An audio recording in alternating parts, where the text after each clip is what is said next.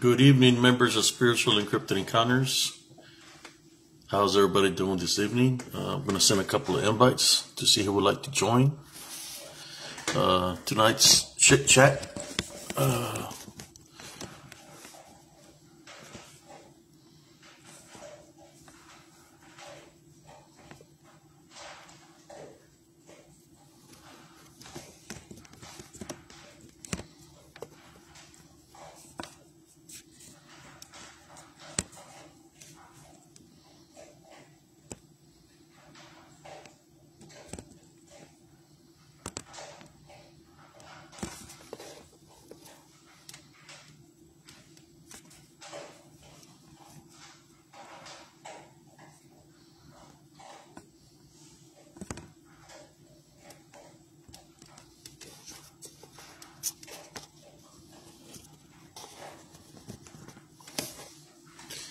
sent a couple of invites. I know it's I, I didn't set one ahead of time.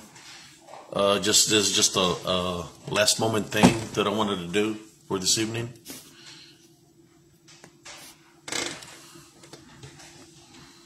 Uh, yeah, I just finished watching uh, some football games. Uh, I guess congratulations to both of the teams that made it into the into the playoffs. I just want to talk about, you know, uh, all those pictures uh, that that are the placed here on uh, spiritual and Cryptid encounters and, and the videos. That I hope that y'all have enjoyed uh, the pictures. Um, I'm trying to show that different perspective, you know, and the perspective that I'm uh, trying to show y'all because of the pictures is that a lot of this these figures or creatures that we see, they're are more of dem- demonic than anything in the flesh. That's why I've shared the pictures. I believe there's a picture where you can see like a like a dogman and a Bigfoot together, but you can see them in spirit form. Uh, that's why I place the pictures and I'm placing them out there because I believe there are demonic beings. You know, for those who agree and for those that disagree, you know, I'm just here to say know, there, there hasn't been a, a body found. You know, for those who think they're flesh, living creatures, there hasn't been a, a body found or captured in any kind of way. So, of what I experienced, what I've seen, I'm going to continue that theory that there are demonic beings in which we know about the Watchers, the dis- disembodied Nephilim, which we know as demons now, where uh, they roam the earth just trying to find a host, uh, somebody with a spiritual opening so they could uh, attach himself to to them. Now I'm, the, I'm wearing this. My uh, when I was in, a, in, a, in, the military, the the unit I fought with was one through armor. Uh, that's what, what I went to, to combat with when we fought the Medina Republic Guard in the Battle of Medina Ridge. And for nine years uh, after that, I was in the Cav station in Fort Hood for nine years. So I was a Cav soldier, uh, being a tanker. You know, we're the ones to go first into into combat. You know, uh, which is tankers, infantry. Uh, we're the first ones to to answer the call when there is a a threat uh, to our nation or when we're, we're, we're sent into battle. You know, uh, so I got to be with the Cav for nine years, in which I knew the, all the offense and all the defense, uh, how to to overcome uh, any kind of enemy placed in front of us. Uh, you know, and the reason I'm sharing this is because I had a couple of experiences when I was in the Cav uh, out in California. You know, I wanted to talk about that. You know, we're going to get to some stories when I was in the Cav uh, station in Fort Hood. Um, I uh, I was in the, this this place called Fort Irwin. Uh, it was Fort Irwin. It was uh we call it NTC National Training Center. That's where we would go to train uh, up in the mountains, and we was always running into into coyotes out there where they're running around trying trying to uh, the scavengers eating trash from the trash cans or whatever they could, get a hold of, in which there was a lot of coyote out there uh, in uh, an NTC in Fort Irwin. Um, the one of the stories I wanted to share of, of Fort Irwin when I was there. You know, the training that we do, we know when we're soldiers, especially when we're, we're training, we make it as realistic as possible where we're not, we're not getting enough rest and we're, our bodies are tired. So we're tired so, so badly that at times, you know, our minds uh, play tricks on us because of the lack of sleep. Uh, and it's like we're two weeks training constantly, you know, like just training and training and training. And there's, you know, we get uh, really, really tired. But some of the, the experiences I've had in California, uh, the first experience that I had that to me seemed kind of supernatural was I was we was training out there and we was tired and we all got in our sleeping bags right uh, to get some rest and you know everybody's got a a time that they pull guard you know each tank each tank pulls guard you know just decide which member of the tank was is going to pull guard and I, I was asleep uh, on the tank you know it's a four man crew and I could feel like, um, like something on top of my sleeping bag, you know, like something like walking or it felt like drops of, of, of, water or something on top of me, you know, and that's what it felt like on top of the tank, like something was dripping, uh, on my sleeping bag. So, you know, uh, as I unzip my sleeping bag, you know, mind you, the desert is very cold at nighttime. You know, I thought it was dew or something in that nature. So when I unzipped my sleeping bag, uh, what I noticed was coyotes. There was a lot of coyotes around the tank. You know, like I said, there's a lot of coyotes in, in, in NTC in Fort Irwin.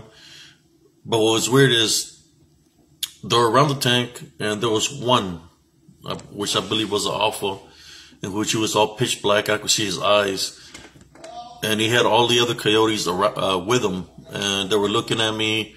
And I know that they were probably looking for food, but there was a lot of them. I say there was like 20 strong. And I was looking at them, and they were looking at me. I could see their eyes glowing uh, towards the tank. So as I'm as I'm looking at them, the the first thing that I think is like, well, I need to mark my territory. You know, uh, so what I did is I urinated around the tank so they can smell my my urine, so they can know, hey, this is my territory. So they were looking, and as they were looking, I guess they got the scent of the urine. Uh, they turned around and walked away. Uh, but what was, I guess to me, that was like the first time I've ever experienced something in that nature where, where there was so many coyotes running like that. There was an, the other time was when I was in the in the in the Cav. It was when I was in in combat. You know, uh, and I've talked about the story already where I'm sleeping on the front slope, and you know, for after the war, that there's a, something growling nearby me, and uh, I'm trying to figure out what is it that's coming to growling by my sleeping bag. It sounds like a roar of a, of a lion or or something in that nature or some kind of beast, you know, and I'm, I'm hearing it by my sleeping bag. And then, uh, one night I just felt something, uh, I opened up my sleeping bag. I had my, my gear on uh, because I was going to be ready for whatever it was coming towards my sleeping bag. Uh, and I seen something coming at me. I could see it because it was color white and I jumped up the tank and we went at each other. It came at me and I lunged, I lunged at it. You know, it tried to jump at me and you know I got the best of it, and it took a running. You know, it happened so fast. All I know was a, a big, big dog, or something that looked like a dog or a wolf that was color white that it literally lunged at me. You know, uh, and after that, you know, uh, in the front lines, you know, there was dead bodies where, you know, I guess all these animals that were out there, that's what they were do- doing. You know, they were they were feeding off the the dead bodies that were out there. You know, when people say that oh, dog, dogs won't do that. Dogs, dogs won't kill their their owners. I'm going to tell you this right now. They're capable of doing anything because I've seen it uh, front hand out there in combat where you, it could be a, it was ordinary dogs that were out there, but when the dog is hungry, right, and they haven't been fed, that will eat anything, and that's what I noticed. You know, there was different kinds of dogs that were eating uh, body parts of, of people. You know, so what happens when a dog gets used to eating the flesh of, of human? Well, it's going to come after human that are alive, right? Because it, it, they think in its mind that it's okay to do that because they were feeding off dead carcasses. So then what's gonna, you have the problem of other two things gonna happen. Either you're gonna have to kill the animals that are out there that have already ate the flesh of, of dead bodies, or you're gonna have the problem of them attacking people, right? Because they're gonna see us as food. So what we had to do is kill a lot of dogs when we were out there. The dogs that were, I guess the dog came, they came from miles and miles away because they could smell the, the flesh, I guess, of, of the, of the, of the meat. You know, the, the, the wind in the desert carries and they came to feast, right? You hear stories in the Bible where it talks about, I think it was a, the, the dealing with the woman that lived near the, it was a city, a kingdom of a woman that lived, like it's kind of like New York back back in the day in the Bible where they said that she fell off her her castle or wherever she was at and she fell in the street, right? And he talks about that dog just came out of nowhere and they they they feasted on her because they said that she was an evil woman. But I don't think they feasted on her because she was an evil woman. They smelled blood, you know, and it was, it was a, a, kill, they, they see meat, they're go, they're going to feast. You know, they're going to feast, and that's not just dogs. That's any any wild animal. You know, I'm talking about wildcats, cougars, mountain lions, um, fox, raccoons, weasels, uh, any kind of animal is going to feast off of meat. You know, that's what they're going to eat, um, because that's that's that's in their in their nature is is to feed off meat. So when I hear a lot of stories, you know, of of you know what I'm sharing with y'all right now, how sometimes people disappear in Mother Nature, and then they find them and they're eating. But the what's lived lives within Mother Nature, they're going to come and feed off the carcass. You know, that's that's what they do. They're going to go feed off the carcass, and the the, the, the body's going to have different. Uh, bites on it and stuff from from different animals. You know, like I said, I witnessed it in the front lines. And there's a storm, you know. Right after that, it's like the when they kill the dogs, and they we had a body bag detail where you know people had to go pick up body parts, you know, and put them in the in the sleeping bags. And I don't know, I wasn't I wasn't part of that detail. You know, I'm thank God I wasn't part of that detail, but you know, uh, th- that's what happens. You know, just like when a, a person gets lost in the woods, you know, uh, that's going to happen. You know, there's critters out there, uh, there's animals out there that they, they, they feed on the flesh and they're going to come and eat, you know, uh, and, uh, you know, going back to me being in the Cav, you know, I was in the Cav nine years. You know, I shared the story about what happened out there in, in California.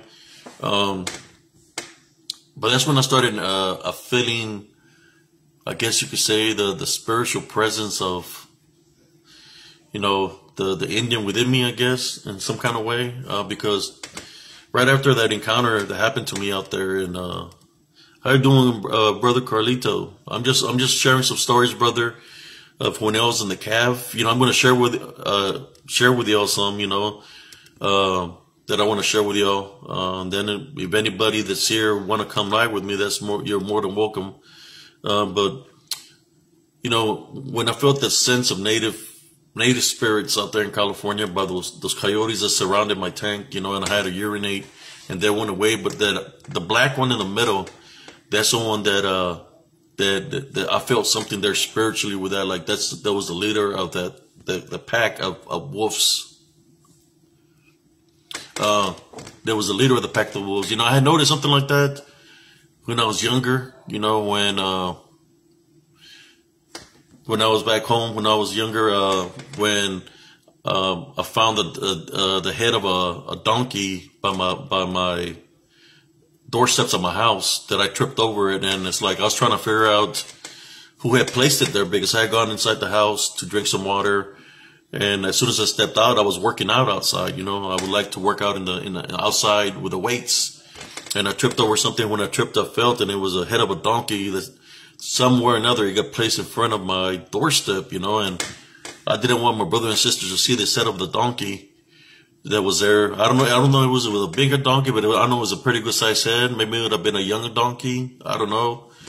Uh, but I grabbed the head and I put it in the backyard and I covered it up with leaves. You know, I didn't really tell my brothers and sisters about it because I didn't want them to be scared. You know, we were all young.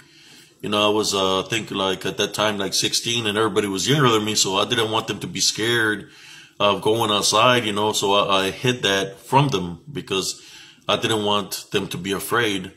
So I was looking around to see if, you know, I could see anybody. I couldn't see nobody. And the only thing that I seen that was weird is that my dogs came and my dogs were very obedient and I will snap my fingers or a whistle. They'll come running to me. Well, that day I was snapping my fingers. I was whistling. And I had like four or five dogs and there were German Shepherd and uh, part uh, bird dogs. And they wouldn't come. Like they were in a in a in a trance-like state. Then out of nowhere, this black dog comes and stands in the middle of them, and it's kind of like they're listening to him. And that other dog didn't even belong to me, so it, it felt like to me like the dog had a something over them, you know. So I, I felt that that wasn't a regular dog; that it had something over them spiritually, you know, like it was controlling. But once that dog left, because I started praying the Our Father they turned around and left. And when they left, I snapped my finger once and all my dogs came to me. So I'm just, I'm just sharing with y'all some stories. Now I'm going back to when I was in the Cav. You know, I told you about the, the coyotes that I encountered out there in NTC in Fort Irwin, California. I had a couple of accidents out there right after that. As a matter of fact, that I, uh, those coyotes came to me, you know. You know, they say that the natives, the culture, right, uh, that when somebody's sick or, or something's fixing to happen, the shaman will come and pray for the people that are either sick or, or fixing to die, or they can sense this kind of things where something's is, is going to happen. So they try to intervene in some kind of way or another. Well, after the incident with the coyotes, like a day later, you know, after I seen the incident, and I urinated around the tank. I went up getting in an accident out there where there was this guy that was going to leave the army. He was a gunner, and he said he wanted to drive the tank for one more time. And I feel kind of weird about it, but you know, when you're everybody should be able to do the, the any job within the tank. So I feel that maybe he knew what he was doing. You know that he's done it before. So uh, he started driving the tank and was doing a mission in which he didn't see the 20 foot drop, and I was facing to the rear and when I was going to turn around, they just said, hold on. I, I just heard is hold. That's it.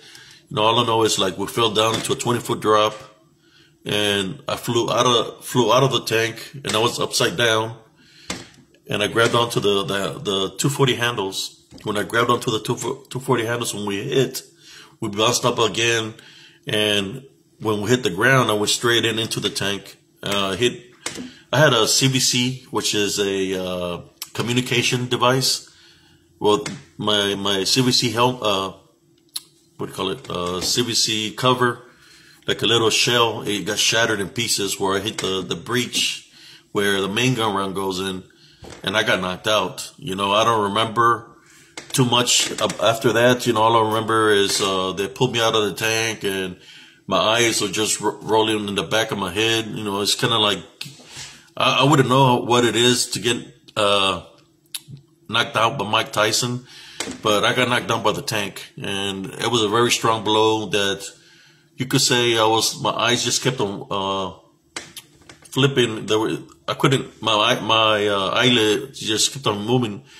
I had no no control over my me seeing. You know, I was just like they were fluttering, and I could hear people talking to me, but my eyes just kept moving real fast from the blow to the head where they were just they told me they were going to take me to to the to get air medevac, and I just remember parts and pieces. You know, uh, I remember waking up in the in the emergency room, and there was somebody was trying to get a urine sample out of me. You know, uh, and I was getting mad because they wanted to put one of those things uh, down there to to pull out the uh, the the blood work. I mean the they wanted to see if I was bleeding from the inside because I guess I hit my head and I, and I, and I bruised up my ribs real bad. But besides that, it's kind of like I felt like that I was being warned, right, from the night before, from those those coyotes that came and the, the, there was a male one. It's like they were letting me know in a sense of a way that something was going to happen to, to be ready, to be prepared, right? And that's how I've seen it as. Now that I'm older, you know, I take a lot of those spiritual signs uh, to uh, a lot of spiritual signs to how should I say to heed. You know, when I experience those things, it's like, how did the coyotes know they were there? What was going to happen to me the following day? You know, well, as I'm saying the stories, you know, that happened. Uh, man, I was I was bruised up from the ribs. I had some cracked ribs. Uh, man, I couldn't I couldn't really do nothing. Uh, you know, I was I was hurt, banged up for the rest of the time I was there. But you know, in the military, when you're in the front lines, they want you to be 100% ready to go. So I had to heal fast. You know, kind of like sometimes I feel like Wolverine because no matter if I had a, a sprained ankle or a, bruised knee, cracked ribs, a broken nose, or whatever the case might be, they want you to be ready to go at all times. And they don't care what you're going through. You better be ready, you know? So it's like I had to find a way to, to heal myself in order to be able to, to do my, my duties, right? As a, as a tanker. Uh, uh, the, there was, man, several experiences that I had. Uh, there was one where I don't know, has anybody gotten bitten by, by a poisonous spider or a poisonous snake? But when I was in uh, Mississippi in Camp Shelby, you know, we went out there to train the National Guard. So there was this, this tin billets out, tin, tin billets, you know, from back in the day. And there was, it was infested with brown recluse that we, uh, sprayed that, uh, the raid and all kinds of stuff in there. Let it, let it air out. But the, the brown recluse were up through the vents where the air was coming out. And I remember, uh, nighttime when I, when I was trying to get some sleep that I could see this, this brown recluse coming down from the ceiling towards me. And every time it would get close to me, I would wake up and try to hit it, but it would go back up, you know. And it's kind of like, that's the way it was, you know. Every time I would see it, I would try to kill it so it wouldn't try to uh, bite me, you know. Um, then uh, I guess one day, you know, it's like, not that I didn't see it no more, so I felt, well, maybe it's gone. So I had gone to the swimming pool and I was scratching on the side of my leg, and I guess the brown recluse had got me uh, overnight, where my finger had gone through the skin of my of my leg, and my finger went into my into my skin, where the flesh was getting deteriorated from uh, the bite of the brown recluse. I started noticing uh, hallucinations from that bite that I had to go to the medics so they can give me some uh, Benadryl shots uh, to to help me from the fever and from the hallucinations that I was getting. Uh, that's in a, uh, you know, just, they're just out of the blue where sometimes there's things out there that we might get cause hallucinations. Uh, another thing that can happen also when you're out there training, uh, and you know, there's some here that are veterans have been out there is when you're dehydrated, you know, when you're, dehydrated, there's a lot of symptoms that can affect, affect us, you know, when, especially if you're not hydrated properly, it can cause hallucinations. It can cause those things like that. You know, imagine how many people that might hallucinate that they don't know that they're hydrated properly right now.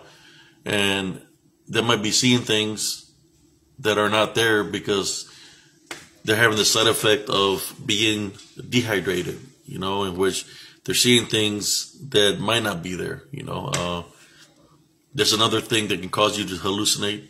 Uh, the sun, you know, the sun doesn't matter if if the sun's out or if it's cold. You always got to drink plenty of water. You know, you gotta you gotta stay hydrated. You know, I've been out there in the desert, uh, up in uh, when I was out there in, in uh, Operation Desert Storm, and I went back in '95, and and you have to drink a lot of water out there, or else you will you will dehydrate, and that's not good for you. Um, another thing that I witnessed also when I was out there in California, I'm talking about some stories in California was uh, where we seen something flying in the air, and it kept on doing uh, changing colors. It was changing different colors, and at first I thought it was a satellite but it was it was doing a figure eight. You know, it was doing a figure eight, and it was changing different colors. And seeing you know that object, and we're we're inside the tank. We're seeing it with the thermals, and we're just seeing this thing moving real fast, doing a figure eight in the sky. You know, and next thing you can see the stars and everything, and, and then next boom, it goes straight up into the air, and we just look at each other. Me and I was a, a sergeant, I was the gunner, and my teacher. We just looking at each other, and we just lived. We just left it as a and I uh, seeing an identified uh, object. We did not call or chain a command to let them know what was going on because, you know, they probably wouldn't believe us. So we just left it at that. You know, when people talk about seeing UFOs, well, I witnessed that there, uh, and I witnessed it uh, out in the in, in combat also. Uh, they say when there's death you know, and certain things are going to happen. Things like that of the paranormal or things that we don't understand do happen, especially when, you know, how the saying goes, when death is in the air. Things happen of supernatural things happen to, to warn us of, to be careful of the, the, the path that we're walking on or to be alert, not to take, uh, the life that we're doing or at that moment like the training to to be how should I say alert 24 7 and that's what I would see it as you know when things out of the ordinary would happen that, that, that will give me the signal to be at a higher level of alertness and to be ready for anything. Kind of like what happened when to me in Elms Grove you know uh, that made me go into a state of mind of being in combat. That anything was anything could have happened there in Elms Grove, in which my level of being alert, uh, we call it in the Army REDCON One. I was REDCON One big time because I didn't know where the threat was going to come from, whether it was going to come in the form of a person or was going to come in the form of a, in a spirit, like something demonic uh, and, and that's what happened. You know, he came in and it came both ways, you know, something that looked like it was in the flesh.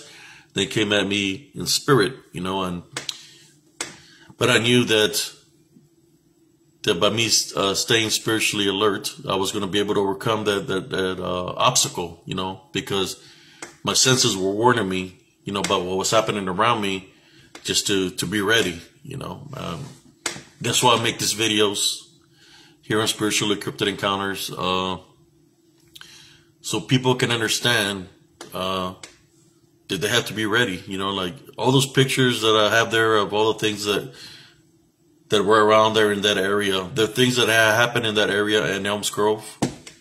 Uh, people have died. You know, whether it's from the from the car accidents on the freeway, whether it was uh, there was a people that died in their sleep. There's a house that blew up people died. A man got murdered, and and many other people that died in that area. You know, uh, there's things that happen that when supernatural things start happening, that's that's telling me or for for anybody to be ready. You know, to be ready so nothing can happen to you. You know, it's it's it's letting you know to to protect yourself.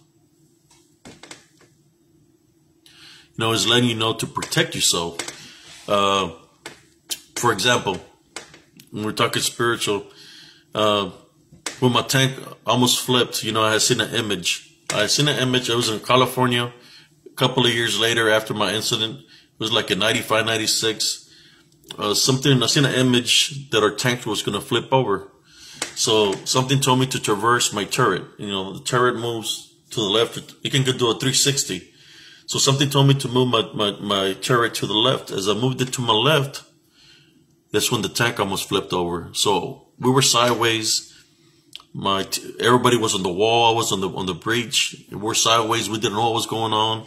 but I had to reverse my tank to the left. So we were in a sideways for a while, and my my driver was a young private, and he was he was he was scared. And when all this was happening, you know, my, my TC tried to jump out and I grabbed him. No, no, don't go. Stay here because you don't know, you know, the tank can flip at any time. So I pull them down and we're just, we're just standing there and we're trying to get help, you know, and when all these things are happening, you could hear a woman crying outside around the tank. You could hear a woman crying around inside the tank and we're this, we're out there in the desert, you know, there's nothing but sand and there's no, no housing area in the desert. It's all training, training for, it's a training grounds. So we're hearing this woman crying around the tank, and and my gunner's scared, like, what the what the hell is that? And you hear that, Sarge? You hear that, Sarge? I said, don't worry about it. It's, it's just nothing. No, it's a woman crying. Don't worry about it. So I started praying the Our Father, you know, and I said, everything's going to be all right, guys. I'm trying to keep everybody calm, you know, and even though we're hearing this woman crying around the tank. So that's, that's, that's some, that's telling us that something might happen. When you hear something in the nature is the spirits or the spirit realm. Is letting know don't do nothing stupid. Because hold your ground because anything can happen at that time. That when you hear a woman crying this they're saying death is near right? To be careful what you're going to do. So when we stayed in place and finally they found us they they tied this this this tow uh this metal uh, we call it a tow metal tow to the back of a tank to hold us from flipping over. And they got people with lights and they were looking how we were at and the position we're at.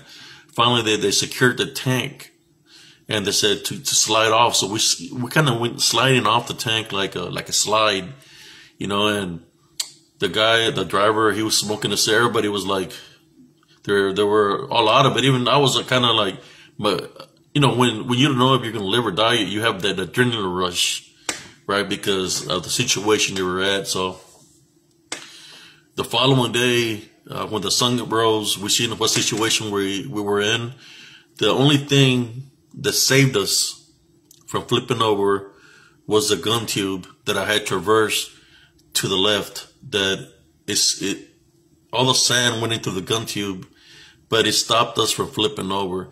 If I wouldn't have followed my spiritual instincts and traversed the turret to the left, we would have flipped over, and the we most likely would have had casualties. Something uh, severe would have happened.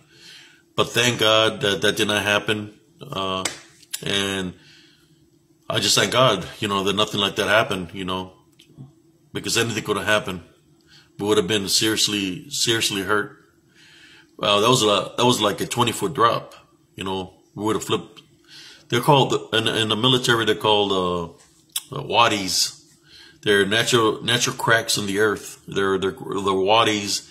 They're like twenty foot drops or fifty foot drops. Ten foot. It, it depends where you're at in the desert. You know, it's like a natural crack in the earth where you can fall down. You know, I've heard of you know of training where there's been platoons that fall off those those wadis and they get seriously hurt. You know some people, you know, they they they, they pass away from from that injury because that injury is severe. Um, but after being in, in, in so many close, how should I say, close calls, you know, that's why I stay spiritually strong. You know, it didn't matter who I served with, whether it was with First Armored Division, whether it was with a cav or if I was a crash, crash attached with an infantry, you know, uh, it didn't matter who I was with. I always uh, follow my senses, my spiritual senses. My spiritual senses have always been with me, you know, and I've used them to the fullest, you know.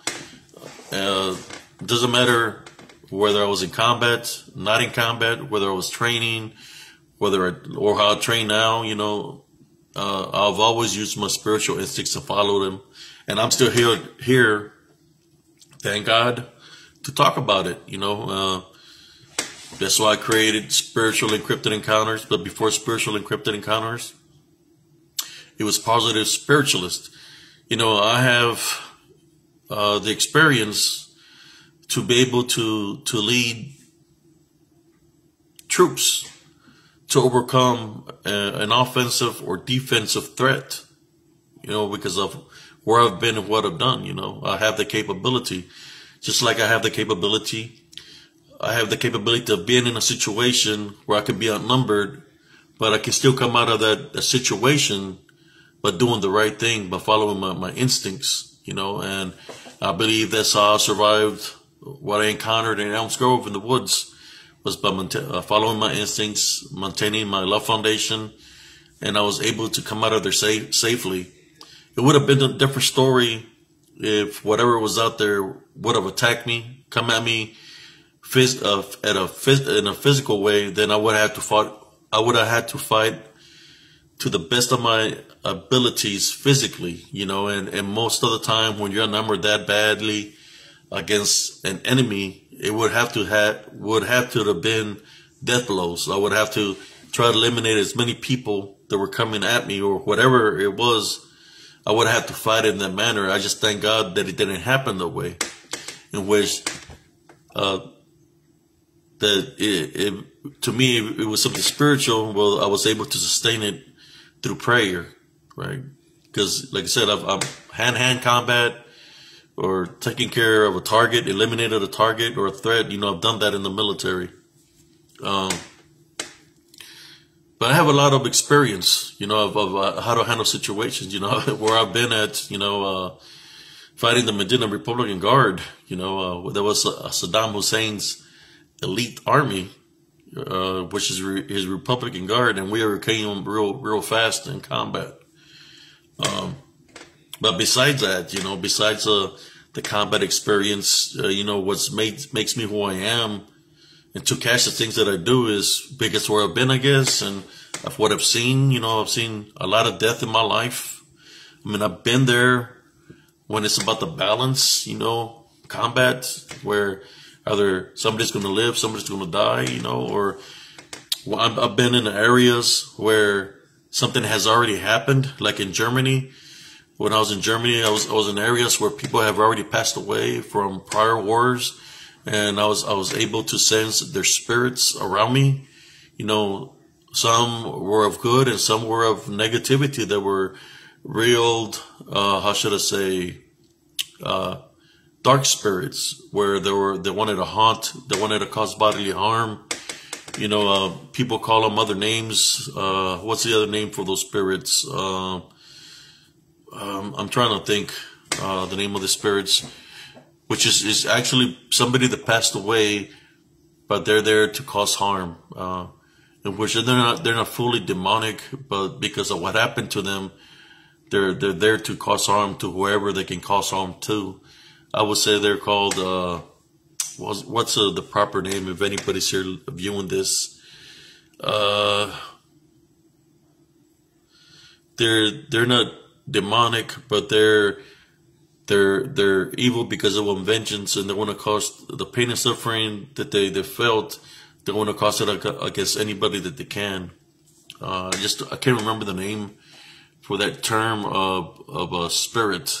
Uh, it's in a very aggressive spirit, you know, and I've, and I've, I, I ran into those aggressive spirits like this in Germany, in the billets, when I used to live in the billets.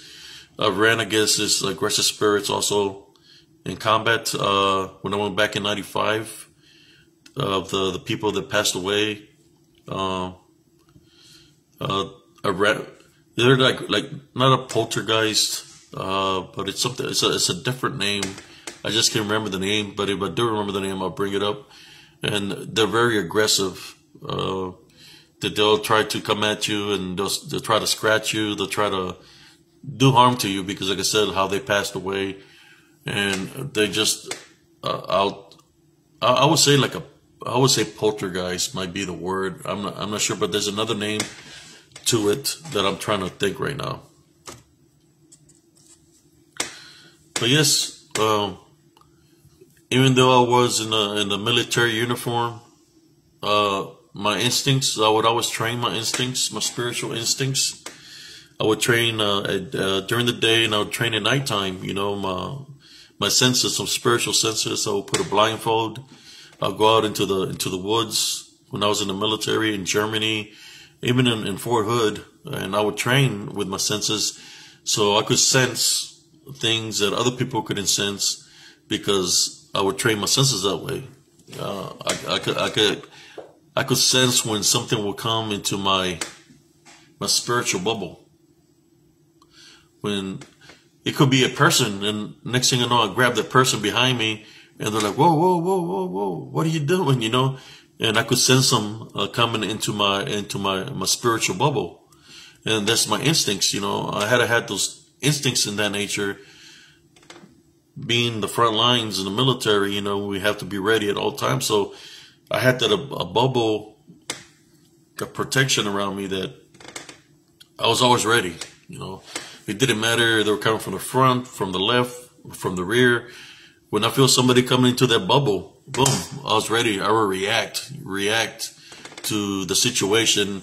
There was times that I'll be asleep in combat and somebody was trying to wake me up, but by the time I would snap out of it, I already got them around the neck, around the around the neck area, and I have a knife already on them, without me even knowing, you know, that because I entered my bubble, my space, and I had my senses that keen, that a keen, that I didn't have to be awake in order uh, for my body to react. My body would just react automatically when somebody entered my bubble, just like when I would do have to do hand to hand combat, uh, or somebody coming in a threatful manner, it was all first nature that I just react to it, and by the time you knew it, it was already done. Because you know when you train, you know whoever here, there's people that like to train. What you train, you practice it over and over and over. Just we're in the military, we train different scenarios that could happen over and over and over. So when it's time to handle business, it becomes first to nature, you know. Uh, same way when you uh, train your spiritual senses, it should be first to nature. Uh, what I mean about first to nature spiritually, you know, for I know there's some people that probably do not believe in the in the spiritual realm that they not they might not believe in the five senses, they might not be spiritualists.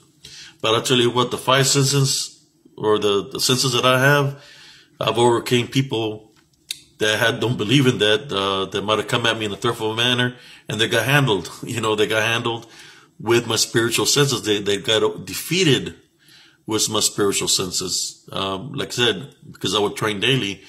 Uh, for those who know me here on uh, on my Facebook, you see I work out daily still. Even though my birthday is right around the corner in a couple of days, I still stay active. I still train. I still focus. I still train my senses because I know how important it is for me to keep my body going and to be ready, whether it be something physical or something spiritual. I have to be ready at all times. But the main thing of, of anything is to maintain the love foundation. You know, there's some people that are like, well, how can you overcome the enemy with the love foundation? Because the love foundation is the key. You See, the love, the, the love foundation is the key to all spiritual gifts, which is all senses. So if you maintain your love foundation, then all the senses of the things that you do following your senses, the training and everything, would be first in nature, and you're able to apply that, the love with, with your senses, and you'll be able to overcome any obstacle that comes your way. Any obstacle, it doesn't matter what it is, you're able to overcome it with the love foundation, in which there is no spiritual openings when you maintain the love foundation. There's no openings. Uh, everything is possible to you for you to uh, overcome a, an obstacle that's placed in front of you. You know, and it's just first of nature uh, that you really don't have to do nothing extraneous or, or uh, you just it's just first nature, and you come out of that situation without a scratch. You know, I've been in those those situations numerous times, you know, and I'm here to talk about it. Like I said before, the but the only thing that ever knocked me out was the tank when uh, I flew out of the tank. Uh, you know, uh, besides that, my senses, you know, they protect me, like I said, from anything physical. Uh, the spiritual instincts is what protects me. You know, it when you're spiritually grounded, you maintain the love foundation. It makes you uh, know how to react to a situation, you know. Uh, and I'm talking about for those who are not in the military no more, that are already out, you know. When I came out, my, my instincts were always a keen. I was our, it's like I was I was in combat mode, you know. But when I placed God first and uh, started using the Love Foundation, it changed my whole perspective a lot of things. In which it was, I noticed how the balance works. You know, when you're in combat mode, REDCON One, you're ready. You're studying the scenario and you're ready to overcome the threat. You know, normally when you're REDCON One mode, you see a person as a threat. You know, somebody saying something negative towards you, or they're coming at you negative, where you see them as a threat and you're able to handle the situation accordingly, right? But spiritually, it's, it's different, right? Because spiritually, you're not going to be able to, to handle a threat, a spiritual threat through what you know. I'm talking about fighting wise. You're not going to be able to, uh, handle that situation with hatred, with anger, in any kind of way. The only way you're going to be able to overcome that, and I'm talking about an unseen force, the unseen spiritual forces that are working right now in our society. And for those that served in combat, we see it. We see it on a daily basis. And you say to yourself, man, how, how is this things are, why do these things happen? It's because of the openings, right? The only way you're going to overcome that, you know, and I'm going to take my hat off because military is a military. Spiritually, you can overcome it by maintaining a love foundation. That's how you overcome the unseen, uh, should I say, oppressors. When they they choose to attack, they're going to attack you invisibly, uh, in, in that nature. So doesn't doesn't matter how many rounds my tank has or had, how many doesn't matter if I have sabot or heat rounds. Spiritually, all that is out of the question. Spiritually, which when you face something that's unseen, that's of the spiritual realm, whether you want to call them the watchers, disembodied Nephilim, demonic, shapeshifters, uh, skinwalkers, uh, uh, apparitions, poltergeist, you name it, shadow figures.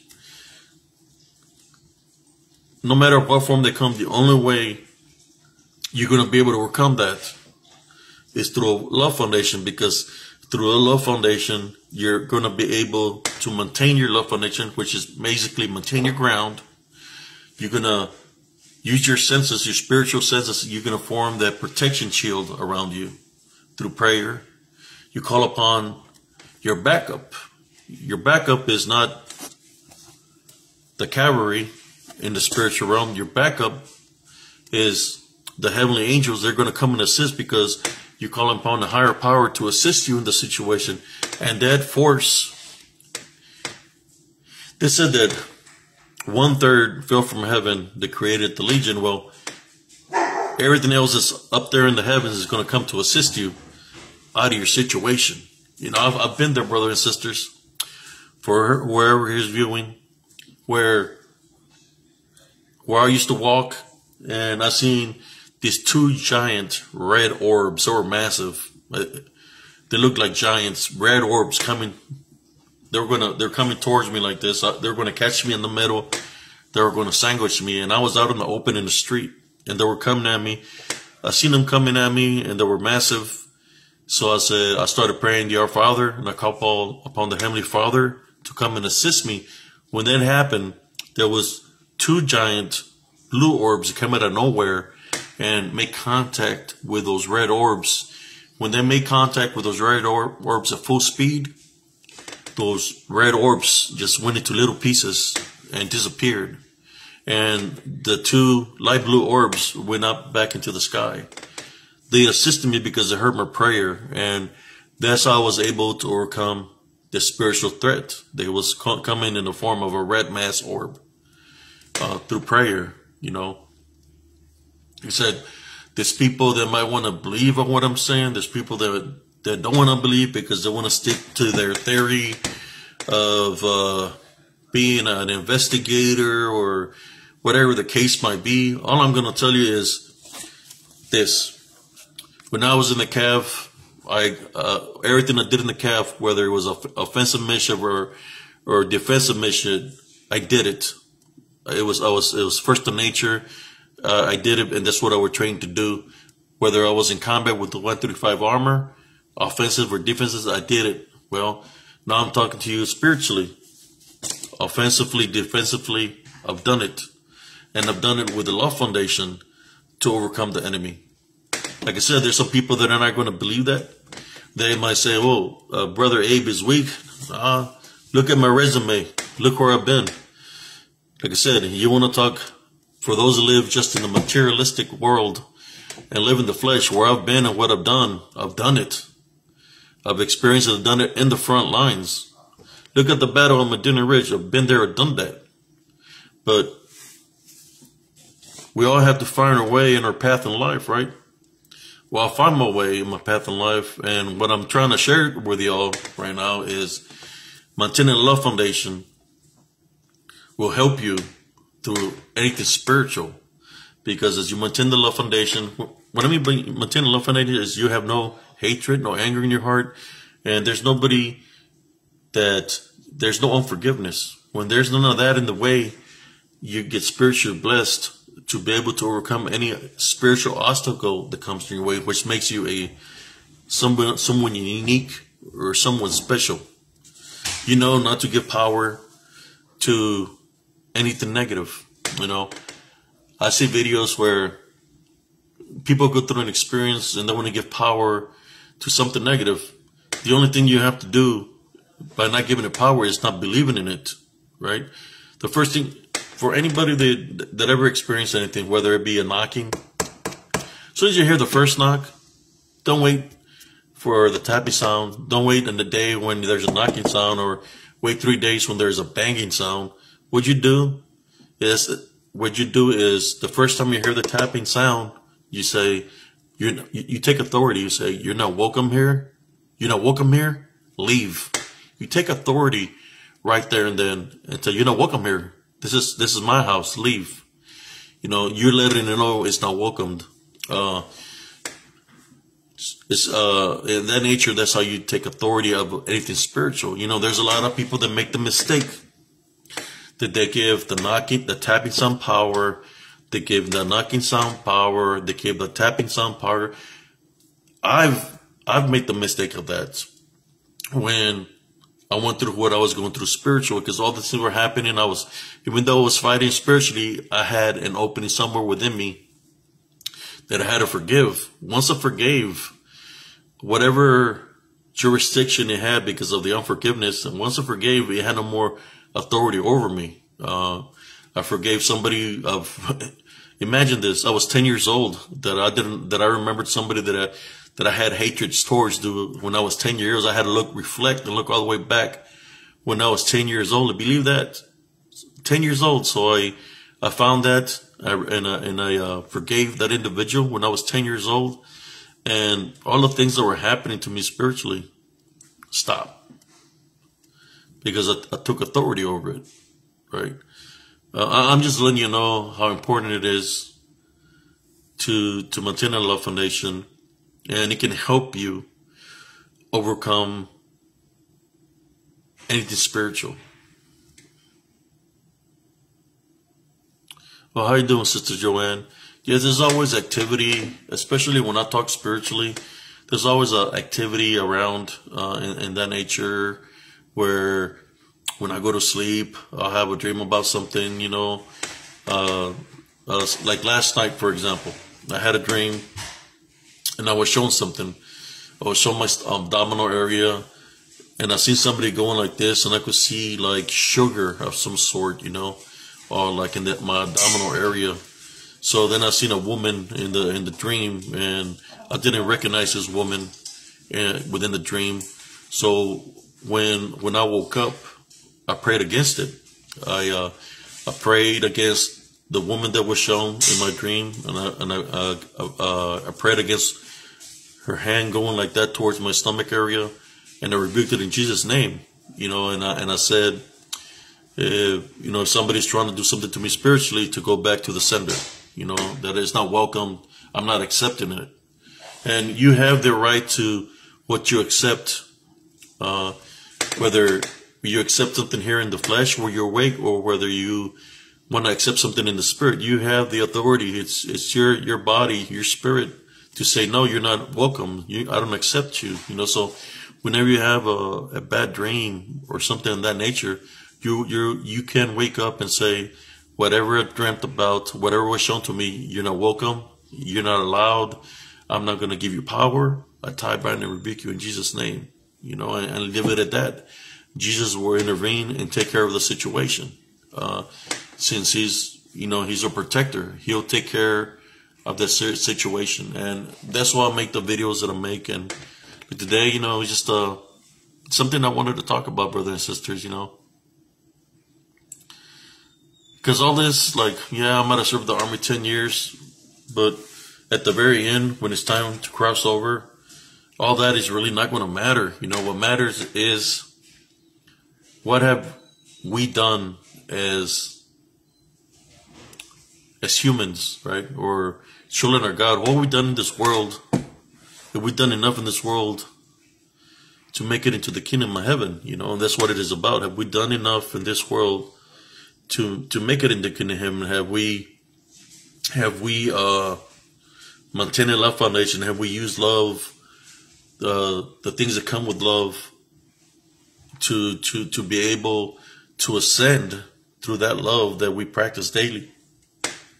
With the foundation that we maintain, do we have we made it, done enough on this earth to be able to ascend uh, when that time comes for us to cross over? You know, that's why it's very important not just to maintain love in your foundation, but to to show that love, to show that love to to the people you love whether it be family, friends, or people that might cross your path that might that might be in the need of help. You know, it's always good to to show that love.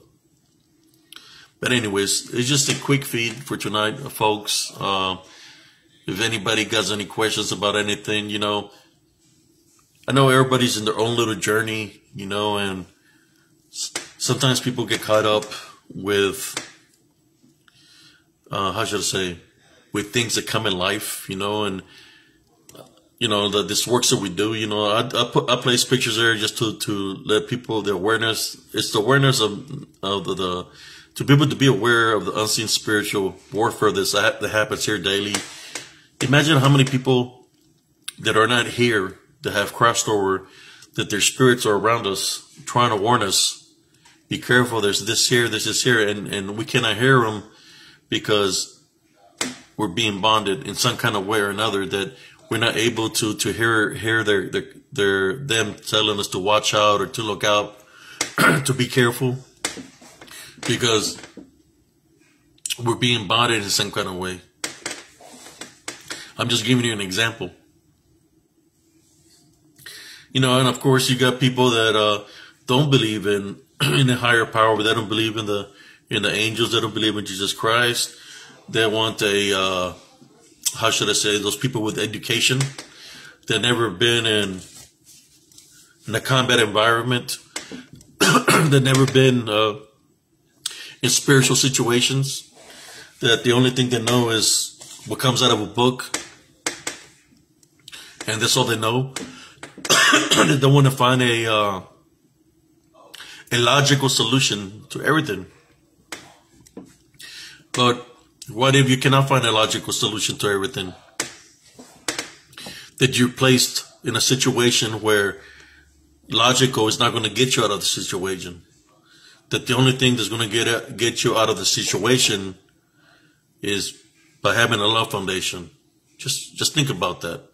There might be one day you're going to wind up in a situation that logic or anything you study or you read or what you got trained in, in school or whatever you you know you've done, that that logic is going to be out of the picture. I've seen it where where people that that are atheists and there's people that are that have been Wiccan where they don't believe in God. Me, I do the sign of the cross and I stick to my faith. And I've, I've come out of that same environment they're in without a scratch. But those individuals that believe in something else, they've been dropped to the ground and their energy drained. you know, just like people are logic. I've seen them get attacked because, you know, I've seen like uh, the military guy that he was in the military. So I just come back from war. I don't have no fear. I'm not afraid of anything.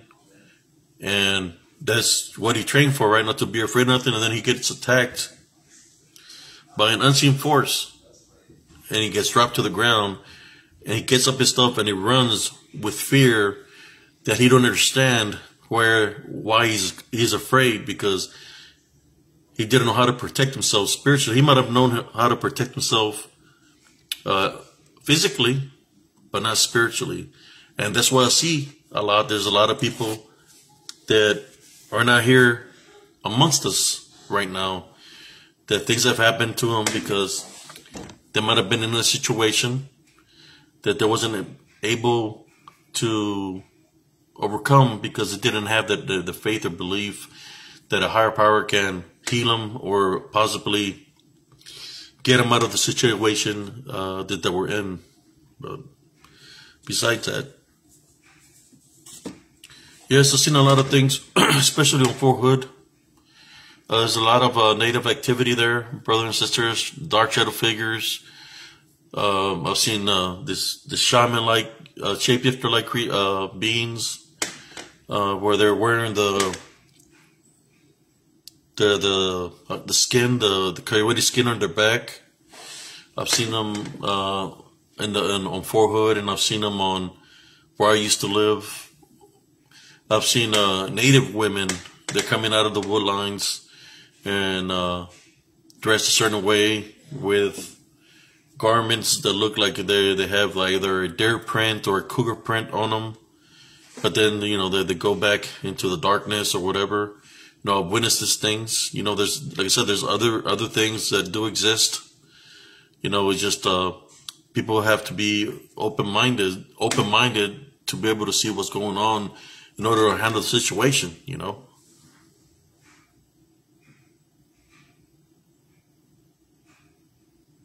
you're welcome uh, sister joanne you're very welcome sister uh, sister uh, joanne Look, you know, I always have that saying, always maintain the love foundation. That's the key. The reason I say that, that I say that about always maintain the love foundation, because having hatred, anger, or anything that you trained, right? Whether it doesn't matter if it's martial arts, boxing, if you don't have a love foundation and you have anger and hatred that's not going to help you spiritually to overcome a spiritual threat. I'm talking about something that's unseen, like something demonic, the disembodied Nephilim, whatever you want to call them. You're not going to be able to overcome that situation without a love foundation. So it's very important to have a love foundation because you see, when you have a love foundation, there's no there. You have a love foundation. There's You've already forgiven everybody. They they can't hold you back. You don't have no anger in your heart, and you have no hatred. So they have no openings to be able to stop you from overcoming the situation or the threat. Because through a love foundation, we can call upon the Heavenly Father to come and take care of the situation. You know, you hear where people have weapons, right? There's uh, hunters. They're out there with the with the squatches and the dogmans, but me, and I know them as something else, you know, the demonic beings that can manifest into any form. Uh, it doesn't matter what kind of weapon the hunter has, doesn't matter what kind of knife, they're not going to be able to overcome a spiritual threat with any kind of weapon or anything man made. They're not. I'm just, I'm being truthful. They're not going to be able to overcome, no matter how bad they are or they think how bad they are. They're not going to be able to overcome it through the flesh. The only way they can overcome a, a situation in that manner is spiritually. That's that's all I can say. That's the only way you're going to be able to overcome to be able to come out of a, a threatful, spiritual threatful uh, situation is by maintaining a foundation. That's the only way. Uh, that's why a lot of people that said that they shoot at Bigfoot, or they shoot at, at dogmen or other cryptids, and that they said that there's no, there's no, they can't hit them because they're not here in uh, in the flesh; they're in the spirit. I tell you what, I've, I've tied, him, I've uh, tied, bind, and rebuked uh, dogmen, uh, something that looked like a Bigfoot, uh, something that looked like a shapeshifter in, through Jesus Christ's name. And when I did that, they disappeared. Uh, I've done this to to an individual back when I was uh, young, when I was like 15, 16 years old, that was offering me all kinds of stuff. And I stood my ground and I said that I, I'm, I want to state my faith with, with, with, with uh, Jesus Christ, with God. And I started saying to our Father. And as I was saying to our Father, whatever was there, said he can't be there. Uh, but there, there was going to be a time that God wasn't going to be with me. So I kept on saying to our Father. And next thing you know, he just vanished in thin air, you know, and you could smell sulfur and stuff like that. I'm just letting you know that that does exist, you know. And if anybody has an experience like that, I'm just letting you know through my experiences how to overcome it. And the only way you can overcome something like that is through a love foundation. You can't have no openings. The openings you can have is like, for example, you know, the one I said is unforgiveness, family grudges, or you're mad with your girlfriend, with your uh, or or something in some nature in that way. Uh, anger, hatred, that just got to be out of the picture. In order for you to to utilize the blessings that come by maintaining love foundation, all those spiritual blessings of discernment come through a love foundation. But anyways, brothers and sisters, I hope y'all enjoyed tonight's live feed of what I've been talking about. Basically, what I'm telling you, what I've been through, know, what I've done for my country. I've done it. That's the past. Um, I remember everything that I've done. But when I faced this unseen force, it didn't matter if I was in the cavalry or in the 135 armor. I wasn't able to overcome it in that manner. Uh, I overcame it with the love foundation. That's what I'm talking about this. You know, and for those that that are, how should I say, uh, thriller seekers that are out there, they're just making videos just to see what they find because they they want to get a popular with with likes because of what they're they're recording or what they're seeing. You know, just be careful. You know, that's all I can tell you. You know, you got to have some kind of belief in something. But I'm going to tell you what. So the, the, the biggest belief that you can have within yourself to overcome a situation like that, if you ever run into a situation is, is saying the Our Father is one, and we begin through the name of Jesus Christ. But the, the big thing about that is when you say, say this, when you say the Our Father, you rebuke it, you have to truly have the faith or believe within yourself, right, towards the Heavenly Father. That's the only way that's going to work because those energies, they know what's around us. No, I said the the Watchers, the Sabbat Nephilim, which was created by the Watchers, and the women of those times. You know, you got the children of the Lilith. Then you got the what we know is now as demonic beings. You know, the one third, uh, which is the Legion, and other things, right? That they know what's here and they know what's here. They know what's in your mind and they know what's in your heart. So they can easily try to deceive you. So that's why, like I said, you have to maintain a love foundation and to be able to use your spiritual gifts of discernment to be able to know how to handle that situation. But anyways, I want to say a little prayer before I go. Uh, Heavenly Father, at this time, I'd like to pray for all my brothers and sisters here on uh, Spiritual and Cryptid Encounters, Positive Spiritualists, and all the the sites that I share this with. I just want to uh, tell everybody to love one another, uh, to maintain a love foundation, but not to give power through fake or false promises by the unseen but to maintain your love, love foundation because you're a child of God. And as a child of God, when you ascend up, up into the kingdom of he- heavens, the greatest gift of all gift is to live. Your spirit's going to live forever. So don't be deceived what man has to offer or from the false promises of the unseen. Uh, you are somebody. You are somebody special.